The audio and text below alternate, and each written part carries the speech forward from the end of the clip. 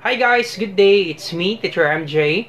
Our topic for today class is we're going to transform the given quadratic functions in the form y equals a quantity x minus h squared plus k. So without further ado, let's do this topic. This is actually what we call class the vertex form of quadratic function. So let's start with number 1. y equals x squared plus 4x minus 10 so first thing to do class, you separate the terms that contains the x values. So you can copy this one as y equals, you put parentheses, x squared plus 4x. Then you put a space class because we will do the completing the square. And this you put this 10 on the last part class. This is negative 10. So you put negative 10 on the last part. Now we will be adding a new constant here. And what would be that number, sir? To get that number, we will be using the formula. That would be b over 2 quantity squared. So our b class is beside x with the exponent of 1. So understood that the, the exponent x of x here is 1. So our b is beside x. Our b is 4. So 4 divide 2 then squared. Once again class, we will be finding that number using this formula. b over 2 quantity squared. Our b is 4. 4 divided by 2. That is 2. Then squared. 2 squared, it means 2 times 2. 2 times 2, that is 4. So once you add 4 here, you will be subtracting 4 on the last part. Alright, so once you add 4 here, you will be subtracting 4 on the last part. Now you'll be asking question, why is that sir? Because if you subtract 4, if you subtract 4 by 4, or if you combine positive 4 and negative 4, this will be 0, right? Positive 4 combined with negative 4, this will be 0. And the equation is just the same class. So that's why when you get 4 here, when you, you add 4 here, you will subtract 4 on the right side to make the equation balanced class. Alright, so add 4 here, plus 4, then you subtract 4 on the right side, minus 4. Alright, and then you simplify. So this will be y equals x squared plus 4x plus 4. Then you combine this one. Negative 10 minus 4. If the signs are the same, simply copy the sign, then add the numbers. 10 plus 4, that is 14. So negative 14. And then next step, this is a perfect square trinomial. We make it into square of binomial. This will be very easy class. To make this one a perfect a square of binomial, just simply get the square root of the first term, the square root of x squared, that is x. And then you get the square root of the last term, square root of 4, that is 2. Then you copy the sign of the middle term, copy plus sign. Then you put parentheses, then square. That's it. This is just the same class. Even if you multiply this 1x plus 2 by itself twice, let's check class, x plus 2 times x plus 2. Let's check if we get this one, x squared plus 4x plus 4. Once again, class, when you solve a completing the square, your answer is a perfect square trinomial in which you can make it into square of binomial easily by getting the square root of the first term, the square root of x squared, that is x, is square root of the last term, square root of 4, that is 2. Copy the sign of the middle term, plus sign, you put quantity, then squared. So let's check class using the FOIL method. You still remember the FOIL method? First, outer, inner, last. So first, x times x, that would be x squared. Outer, x times positive 2, that's positive 2x.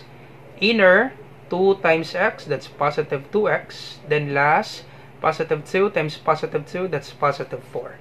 Then combine like terms, so this is x squared, 2x plus 2x, that's 4x, then plus 4. Same answer class. Alright, so no need to use the FOIL method class. Just get the square root of the first term, square root of the last term, copy the sign of the middle term, you put quantity, then square. Then copy minus 14. And this will be our answer class. That's it. That's the answer for number 1. Easy, right? For number 1. So your A, if the teacher will ask you to find the value of A, H, and K, so your A is beside this parenthesis. Check the equation class. So your A is beside the parentheses. If you didn't see any number beside the parentheses, understood that there's one here. So your A is 1. understood to be 1. There's 1 here, so your A is 1. And your H, your H is inside the parentheses. Now, if this is positive 2, you get the additive inverse. Your H will be negative 2. Always remember that one class. If it's inside the parentheses, you get the additive inverse. If this is positive 2, your H is negative 2. And your K is the last number. That would be negative 14. Alright, all set for number 1 class. That's the answer for number 1. Alright, so let me erase number 1. So you pause the video class, I will be erasing number 1. So let's try number 2. So let me copy the equation y equals 3x squared minus 6x plus 8. So first thing to do, first thing to do, you separate the terms that contains the x value. So y equals, you put parentheses, 3x squared minus 6x, then positive 8 plus 8. You put 8 on the last part class. Now, before doing the completing the square class, you check first class, can we factor 3 and x? Because if you can factor the number class, you need to factor that out. Because in completing the square class, the number before x squared, it should be 1 class. Okay, the number before x squared, it should be 1. Before doing the completing the square. A while ago, the number before x squared, for number 1 is just 1, right? Understood that there's 1 here. Now, this time, the number before x squared is 3. So we cannot do the completing the square directly. So we need to factor this out. Okay, once again, always remember in completing the square class, the number before x squared, it should be 1. Now, since this is 3, we need to factor this out. Factor out the number. Can we factor this out by 3? Can we divide 3 by 3? Yep, we can divide 3 by 3. Can we divide 6 by 3? Yep, we can divide 6 by 3. So therefore, we can factor 3 and 6 by 3, right? So factor this out by 3. Just factor out the number class. 3 and 6. So we can factor this out by 3. Then you divide class. 3x squared divided by 3. So 3x squared divided by 3. So 3 divided by 3 is 1. x squared divided by none. Simply copy x squared.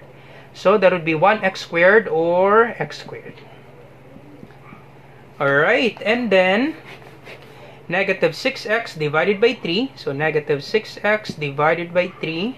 So, negative 6 divided by 3, that's negative 2. x divided by none, simply copy x. Negative 2x.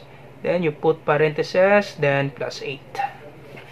Alright, you can always check plus if you factor it out correctly by distributive property. You check plus by multiplication. Distributive property. 3 times x, that is 3x squared. Then 3 times negative 2x, that's negative 6x. Okay, therefore you factor this out correctly. Alright, so next step, we need to add a new constant here, and we will do the completing the square. So the formula, that would be b over 2, then squared. So our b is beside x, so our b is negative 2. So negative 2 divided by 2, then squared. Once again, plus your b is beside x with the exponent of 1. So our b is negative 2. So negative 2 divided by 2, then squared. Negative 2 divided by 2, that's negative 1, then squared. So negative 1 squared, it means negative 1 times negative 1. This is negative 1 times negative 1. And negative 1 times negative 1, that is positive 1. So therefore, you will add 1 here. Now, be careful with this one plus. It's different from the first equation that we had. When we get the answer here, okay, by doing the completing the square, we add that number here, right? And then we also subtract that number on the right side. This time class, this will be quite tricky. Remember this one class, this is not our original equation. We factor this out by 3, right? Once again, we factor this out by 3. Our original equation, that would be 3x squared minus 6x. And we just factor this out by 3. Therefore, the number that we will be subtracting on the right side, that would be the product of 3 and 1. So, minus the product of 3 and 1. Always remember that one class. A while ago, once we do the completing the square for number 1, once we get that number, we add that number here, we subtract that number on the right side. But this time, this is not our original equation. We factor this out by 3. That's why we need to get the product of 3 and 1 and that will be that number that we will be subtracting. Okay, I hope you understand this one class. Get the product of 3 and 1 because this is not our original equation. We factor this out by 3. Always remember class that we have 3 here. So once again, you get the product of 3 and 1. So 3 times 1, that is 3. And we will be subtracting 3 on the right side. Alright, so I hope you understand that one class. So this will be y equals 3 quantity x squared minus 2x plus 1 then plus 8 then minus the product of 3 and 1 3 times 1 that is 3 minus 3 so this will be y equals 3 quantity x squared minus 2x plus 1 then 8 minus 3 that's positive 5 and then this will be y equals 3 then make this perfect square trinomial into square of binomial. So very easy class. Get the square root of the first term the square root of x squared that is x. Get the square root of the last term the square root of 1 that is positive 1 then you copy the sign of the middle term. Once again square root of x squared that is x. Is square root of 1 that is 1 copy the sign of the middle term, copy negative sign, then you put quantity, then square, then plus 5. That's it, plus. That's the answer for number 2. Easy, right? For number 2. So once again, copy 3, get the square root of x squared, that is x, square root of 1, that is 1. Copy the sign of the middle term, you put quantity, then squared, then copy plus 5. That's it, plus. That's the answer for number 2. So our A, so your A is beside this parenthesis. So your A is 3. Your H, once again, inside the parenthesis, if this is negative 1, you get the additive inverse. Once again, class, if this is negative 1, you get the additive inverse. So your H is positive 1. And your K is the number class. K is positive 5. That's it, class. All set for number 2. Alright, so that's it. Transforming the given quadratic functions into the vertex form. So I hope you like this video. If you like this video, do not forget to like, share, and subscribe. Be sure to your friends and to your classmates so that we can help more students. Once again, this is Teacher MJ. Have a great day, class. Goodbye for now. Bye-bye.